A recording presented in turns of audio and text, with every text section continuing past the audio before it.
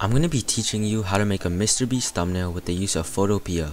It's basically a very good alternative to Photoshop and I highly recommend it to users who can't afford Photoshop just yet. But don't worry, for the Photoshop users, I'm going to be making a separate tutorial on this if this video performs. Now without further ado, let's jump right in.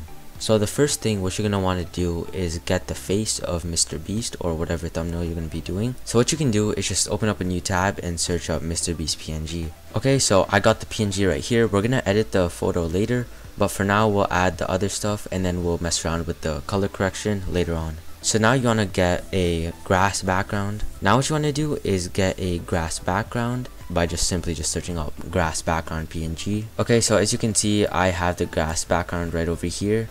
But what I'm going to do is drag it below the Mr. Beast layer, so it's just like that. And now you want to search for a sky background. Okay, as you can see, I have it now, and I'm just going to drag it all the way at the bottom, just like now what we're going to do is add a house near behind Mr. Beast right or somewhere over there. Okay, so I went ahead and just got this house PNG, and I'm going to drag the layer behind Mr. Beast, and then we're going to put it somewhere around there. Now we're just going to double click on the house layer, go down to drop shadow, make sure it's enabled, and just put the opacity to somewhere around 48. Distance right over there. We're going to lower, we're going to increase the size, or we'll keep it at 26, and just go ahead and click on OK. Now after that, what you want to do is just get a picture of a car or a PNG of a car. Okay, so I got the car right over here. To move it, you can click Alt Control T and then just adjust it just like that so I'm going to place it somewhere around there. And now what we're going to do is search up a picture of a family basically. Okay so now what you're going to do I'm just going to adjust the size and the placement of it. We'll put it right over here and we're going to double click on the layer. We're going to go to outer glow and we're going to switch the color to white. We're going to lower down the opacity.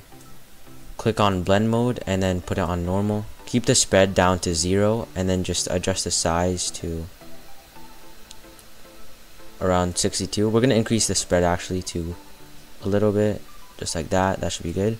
And make sure the technique is on softer. You could add a stroke if you'd like by clicking on the color white and you can just adjust the size and the opacity if you'd like.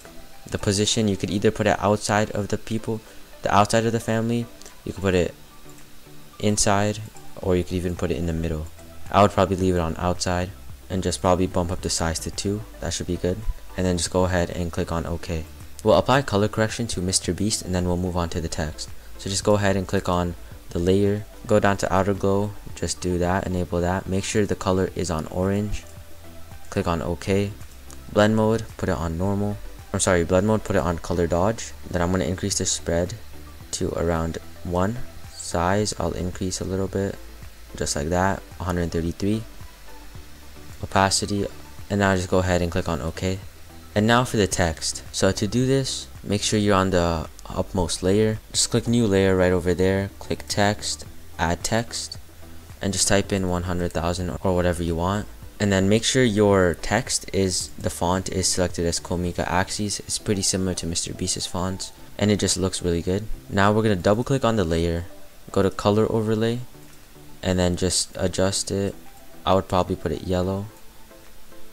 That should be good and then we're gonna go stroke change the color to black and then just increase it to 8 around there. Actually we're gonna adjust the stroke we're gonna change it to 5 and then go ahead and click on inner shadow. We're gonna change the opacity a little bit just like that 26 distance. We'll probably keep it around 8 we can increase we can keep the size at 1 and then we're gonna go over to drop shadow we're going to change the opacity all the way to 100 and make sure your distance is on 8 make sure the spread is at 100 and make sure the size is set at 1 and then we're to go ahead and add another drop shadow just like that. And then for this drop shadow we're going to change the blend mode to normal. We're going to put the opacity down to 20 somewhere around there. 22 is fine. Distance we'll put it up to 50 60 spread we'll increase it to 12 size we'll decrease it just like that and now you can go ahead and click on OK. But actually before you do that we're going to click on inner glow make sure it's enabled. We're going to switch it to white or I mean black and then increase the opacity to 100 spread make sure it's 34 size we're just going to increase it a little bit just like that and then you can go ahead and click on OK. Now click alt control T on your keyboard and just adjust it. We're going to make it a little bit bigger and then we're going to drag the layer below the family just like that and that's it for this video guys. If you guys did learn something new, make sure to leave a like and subscribe.